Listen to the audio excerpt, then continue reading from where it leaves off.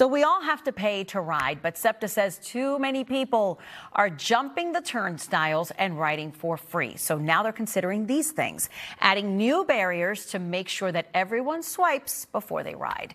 NBC 10's Miguel Martinez Valle, he is live in Center City with a closer look at what they're considering adding to these stations. Hey, Miguel. Hey, Lucy. Yeah, and SEPTA officials actually tell me that the problem of people jumping the turnstiles, that's increased year over year. So today at 3 o'clock, the SEPTA board, they're going to meet to vote on whether or not to approve these new vertical uh, turnstiles. They're hoping that's going to mean make it harder for people to cheat the system, meaning more people are going to pay so then they can invest that money into the day-to-day -day operations of SEPTA. All right, so take a look at these renderings. This is actually the mock-up of what the new full-length uh, fare gates would look like. This is a pilot program. So these would be installed at two stops along the Market Frankford line.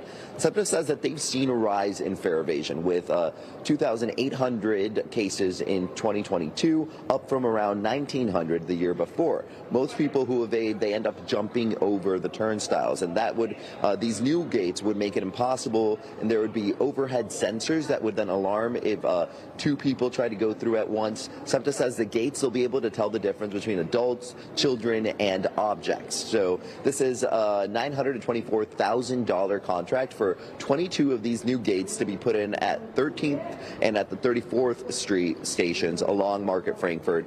It's a hefty price, but some think that it would be worth it in the end. I'm not jumping over any turnstiles myself. So, uh, yeah, I suppose if you're athletic, it would stop you. I really wish I knew what the percentage was because it's a cost benefit thing. How much is it going to cost them to install them?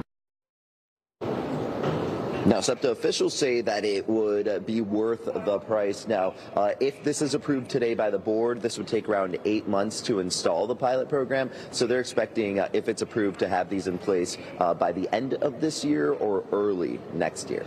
I'll send it back to you. I'm Miguel Martinez Valle, NBC 10 News. All right, Miguel, thanks for that.